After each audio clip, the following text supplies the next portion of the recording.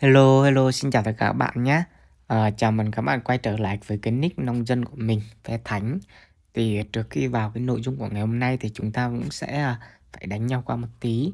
Các bạn thấy hiện tại hạng của mình là 213 và mình sẽ xem cái chiến báo một chút nào. Chiến báo phòng thủ đi. Đấy, hầu như là mình bây giờ ghép tận 400 triệu. và anh nhái ghép được với à, uh, IS kho tàu luôn. Các bạn thấy chưa lực chiến của mình chỉ có uh, 194 triệu thôi. Đấy 194 triệu nhưng lại ghép là ghép bây giờ nó ghép ghép chênh cả 200 triệu lực chiến dã man. Nghĩa là hiện tại mình đã leo được hết cỡ rồi các bạn nhé. Đấy thì uh, mình sẽ cho các bạn xem là đối với mình là lực chiến không là gì hết.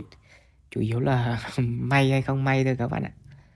Đấy sẽ hiện tại thì ờ, uh, ngộ không của mình hầu như đã giới hạn đam rồi các bạn. Nghĩa là bây giờ đã 2 triệu 7 đam rồi hầu như là hết cỡ rồi. Bây giờ muốn mà lên nữa thì chỉ có ờ, thứ nhất là lên mắc sao thứ hai là mình phải ờ, lên thêm cái ờ, hồng hoang nữa. Không thì hiện tại mình mắc lắm thì giỏi lắm bây giờ lên được 3 triệu là hết cỡ.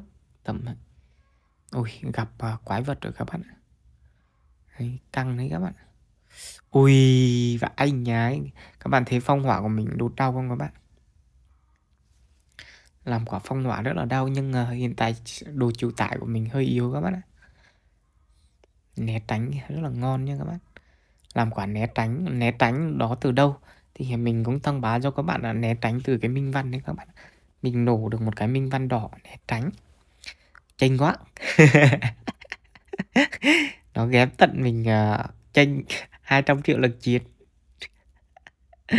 Là biết các bạn biết nick của mình như thế nào rồi đấy ghép bây giờ nó ghép tranh các bạn giỏi lắm tranh thì tranh khoảng 10 triệu đúng không? 20 triệu đúng không? Mình bây giờ tranh 200 triệu.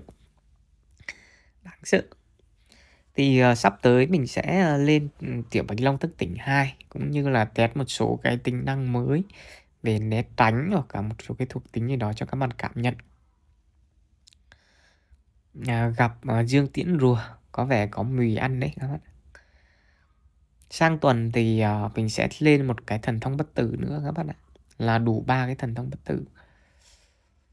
Đây mới ra kỹ năng. Ui ui ui ui thiếu một cái liên kích cay lắm các bạn nếu mà đủ một quả các bạn thấy một quả phong hỏa của mình không? Hầu như là đi được đầy đầy tem bạn luôn các bạn ạ.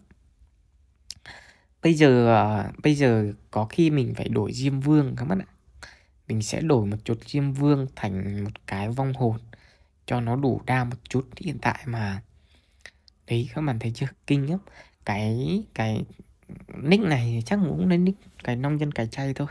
Hiện tại mà nối của nông dân thì à, chay tầm khoảng 250 triệu rồi. Các bạn tầm đấy.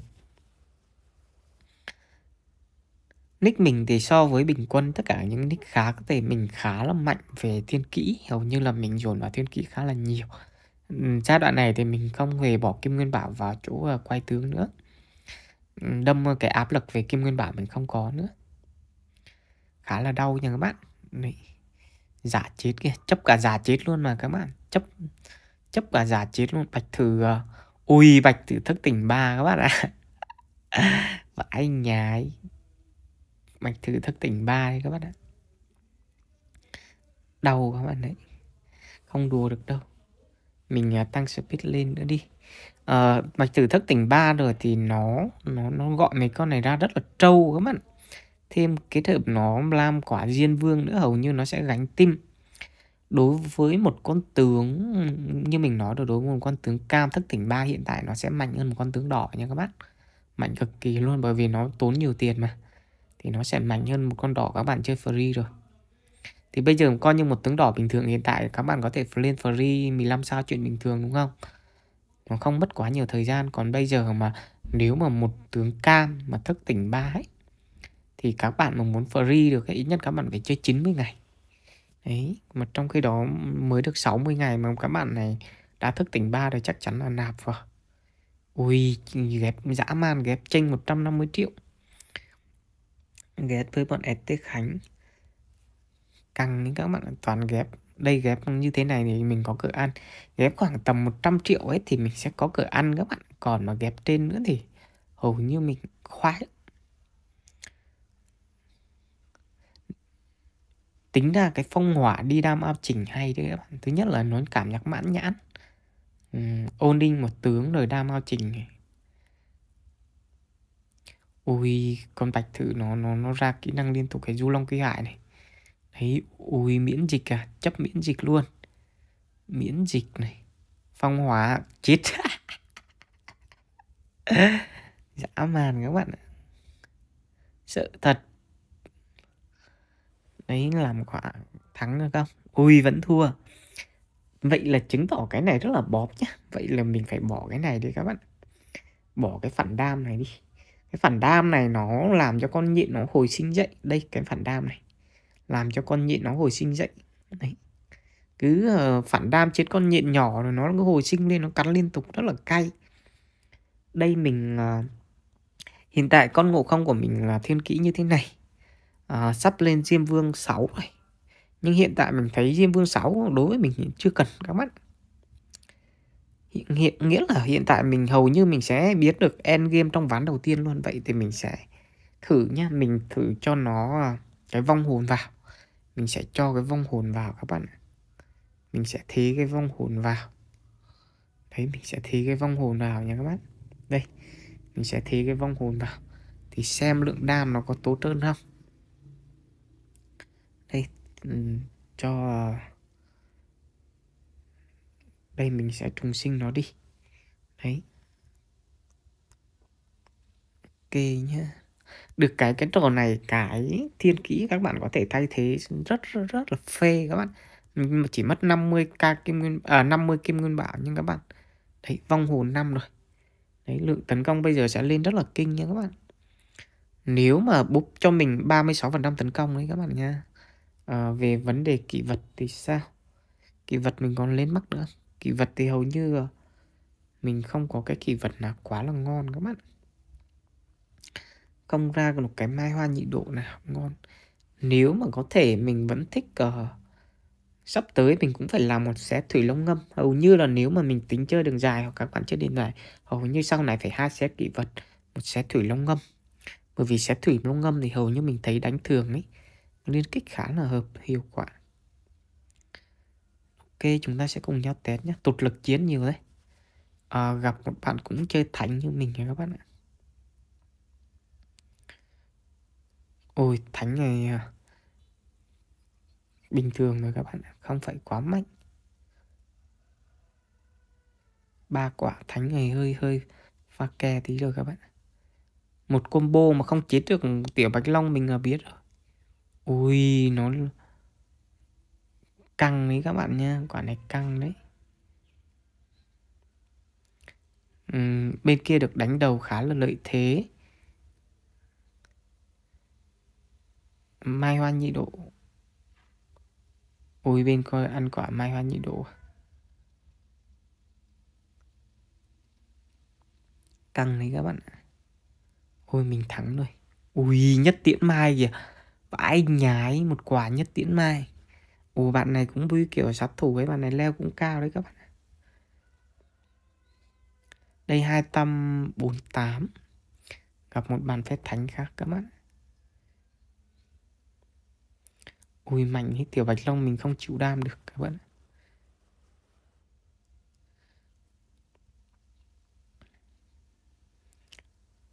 ngon, ăn được quả choáng ngon kìa các bạn. Ui, tiểu bạch long bên kẻ địch mạnh hơn mình các bạn ạ đỡ bào kích nữa. Căng. Ui, ăn ngay hai quả đỡ bào kích. Mình có vẻ cự thua rồi các bạn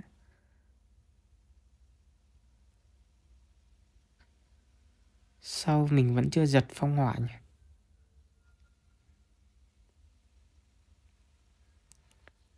Đây ra kỹ năng này. Ui, giật kìa. Ngon. Ngon lắm các bạn ạ. Tại sao ngộ không lại qua đánh ngộ không kia? Bởi vì tiểu bạch long bên kia hết liên kích rồi đâm ra không thể ôm đam được. Rất ngon, rồi ngồi không mình làm một quả liên kích hai vụt chết bên kia. Đấy tranh khá là nhiều tranh 100 triệu cùng phe đấy các bạn. Nói chung là việc mà build như thế này thì nó cũng có cái hay. Nói chung là đôi lúc mà nhìn mà ừ, cùng lực chiến ấy, hoặc là tranh lực chiến mình đập người ta người ta khá là cay cú.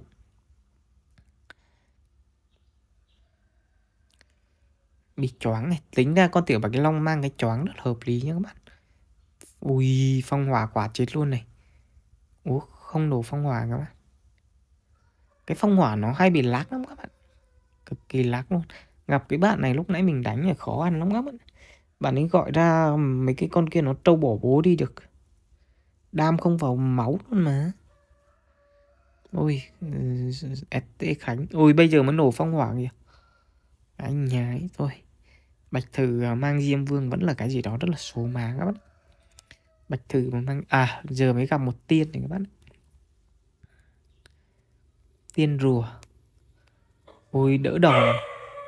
Tính ra cái đỡ đòn né tránh cũng như là cái đỡ bạo thương ấy, nó đôi lúc nó tạo ra cái nhân phẩm khá là hay các bạn nếu mà các bạn muốn trải nghiệm ôi, dương tiễn kỹ năng kìa.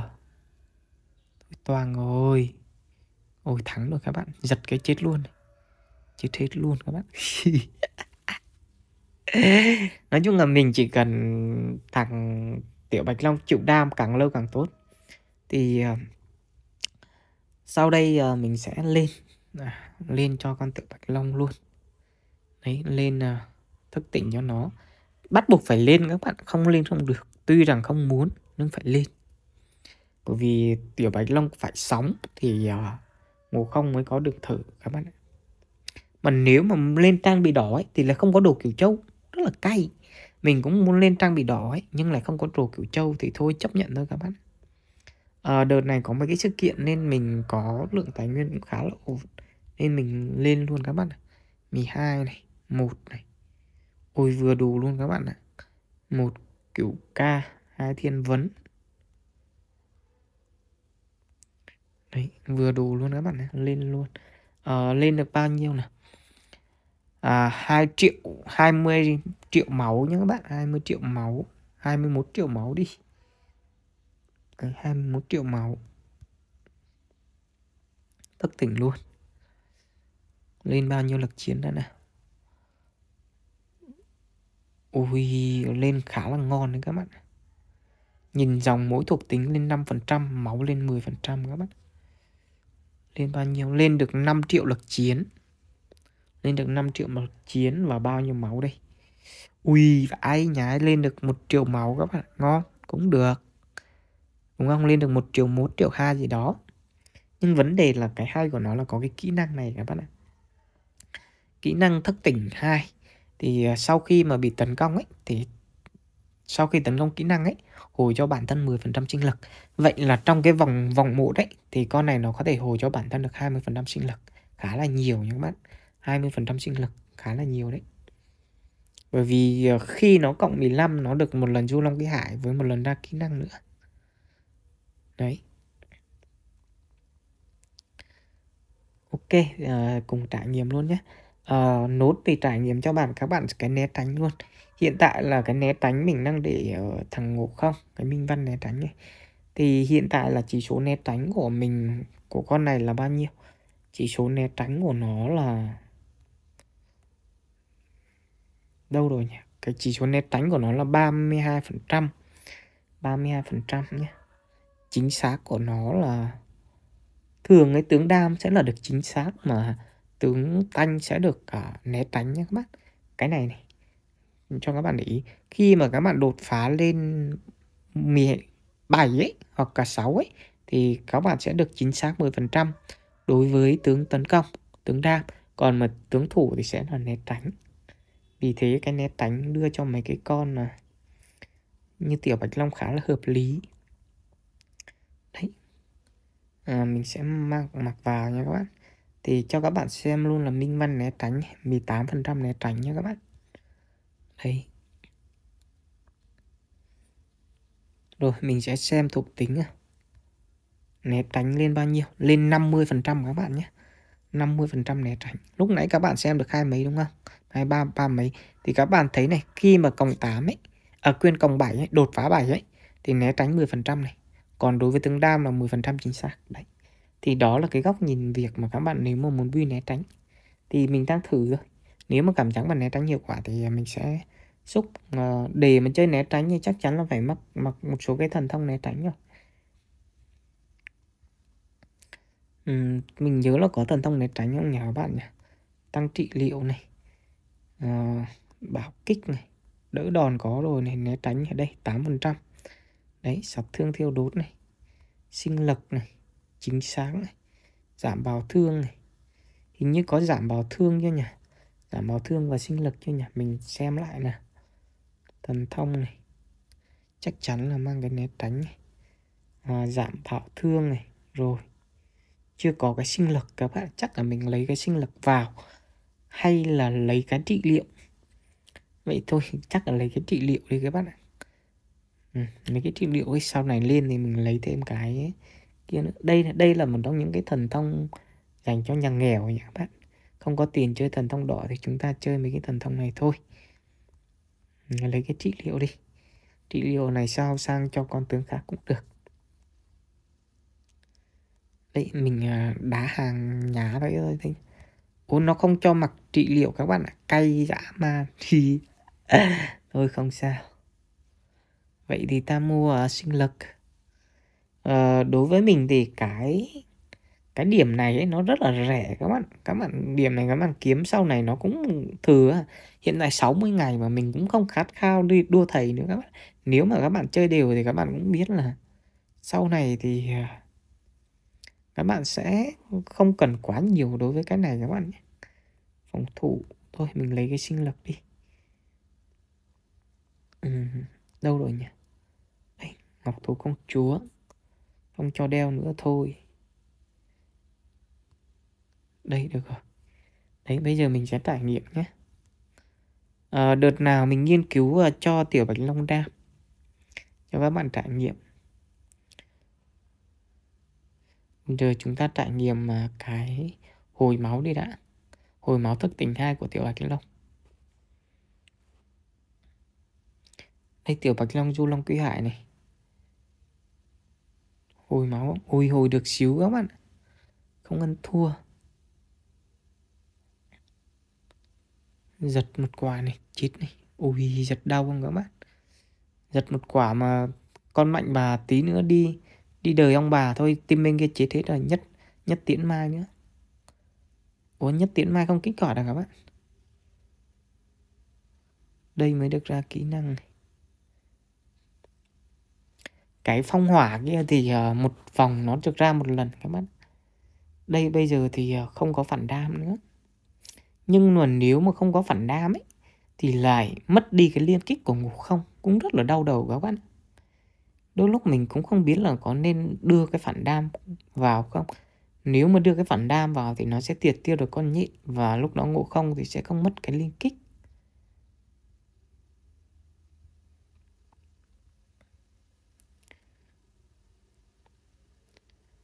Nên mình cũng rất rất rất là không hiểu được là cần phải xử lý cái vấn đề phản đam ở tiểu bạch long như thế nào các bạn ạ. Nói chung là đối với một con tướng thì không thể hoàn thiện hết được. Quả lúc nãy mình mất hai cái liên kích là mình thấy buồn này mất hai cái liên kích là khá là ui vãi nhái. Đánh mà đánh tranh 200 triệu lực chiến thì sóc. đáng sợ. Đây mình tự uh, farm nhé farm coi mắc, bây giờ leo mắc là lên được bao nhiêu?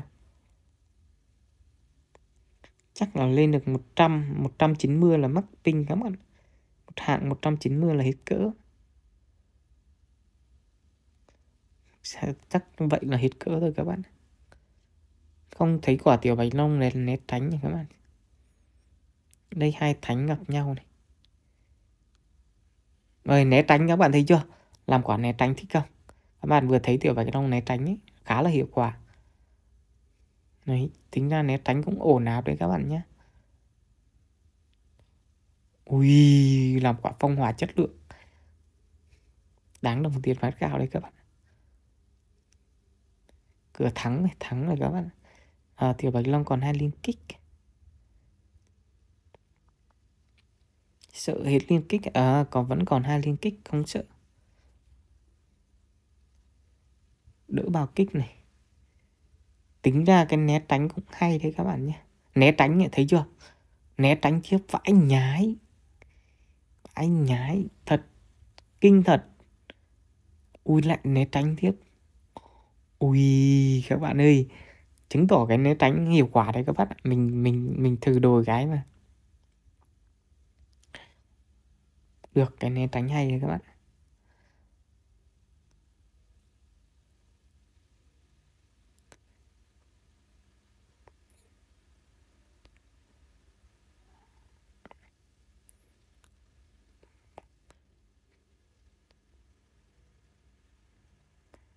yến dịch, yến phản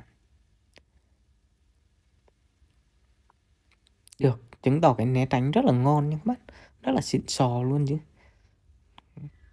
Đây coi nó cắn liên tục coi quả nào né tránh nhá. Hiện tại thì ờ, đấy, nhện nó lại làm mình mất cái liên kích đi các bạn đấy lại né tránh nhỉ. Hầu như tỷ lệ xuất hiện né tránh rất là cao đấy các bạn. Hiện tại né tránh của mình là lên đến 60 phần trăm đấy các bạn chắc là kiểu này mình phải lóc phản đam vào các bạn không cái mất liên kích khá là cay. Vậy là mình phải bắt, bắt buộc các bạn. Thôi chấp nhận. Chấp nhận uh, kia đi bởi vì không người con nhịn nó ảnh hưởng cái vấn đề mình uh, liên kích nữa. Đây, lấy cái phản đam cũng được. Các bạn thấy chưa né tránh rất là cao nhé giả định như mình uh, cho né tránh nữa đi. Nếu mà lấy một cái tím nữa, hiện tại là né tránh bao nhiêu? Né tránh đấy 58% rồi các bạn. Bình thường bọn này chính xác ấy, thì khá là thấp. Chính xác 132 thôi các bạn nghĩa là 32% chính xác. Bởi vì các bạn phải trừ đi 100% gốc ban đầu là đánh ban đầu nữa. Đây làm quả cuối nha các bác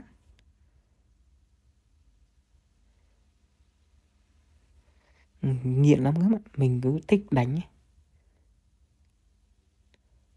ui, đau ấy ăn quả né tránh này. Né tránh nhỉ các bạn thấy chưa? Né tránh nhiều dã man. Bên kia chơi phản đam đấy các bạn. Tiểu bạch long phản đam đấy. Quả này căng đấy các bạn ạ không biết mình có thắng được không? Ăn một liên kích.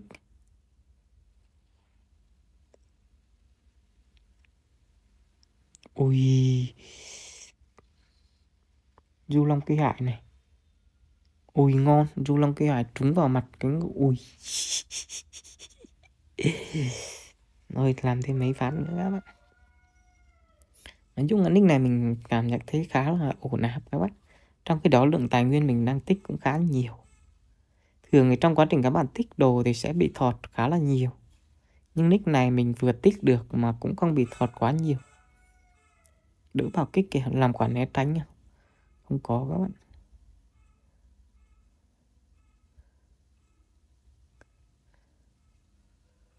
Tính ra đôi lúc các bạn mà lên những cái minh văn gì đó lạ mới lạ ấy, thì nó sẽ thay đổi cái hướng đi của các bạn ví dụ như mình ra cái minh văn đỏ né tránh mình cũng không nghĩ tới là chơi tiểu bánh long né tránh đâu các bạn? Nhưng né tránh thì các bạn muốn chơi là thứ nhất là các bạn phải uh, con tướng của bạn đừng có bị thọt. Ví dụ như tiểu bạch long mình không bị thọt thọt về chỉ số ấy bởi vì tiểu bạch long thức tỉnh mà. Nên nó sẽ chỉ số cơ bản nó sẽ được đẩy lên cùng với các tướng đỏ khác. Nhưng mà nó sẽ không bị thọt chỉ số. Thì khi đó mình chơi né là rất là hiệu quả còn mà nếu mà các bạn mà thọt thấy bà luôn mà các bạn trên né thì không ăn thua đâu bởi vì chính xác của nó vẫn đục qua được ăn quả choáng thì dương tiến ăn quả choáng này ui ăn hin các bạn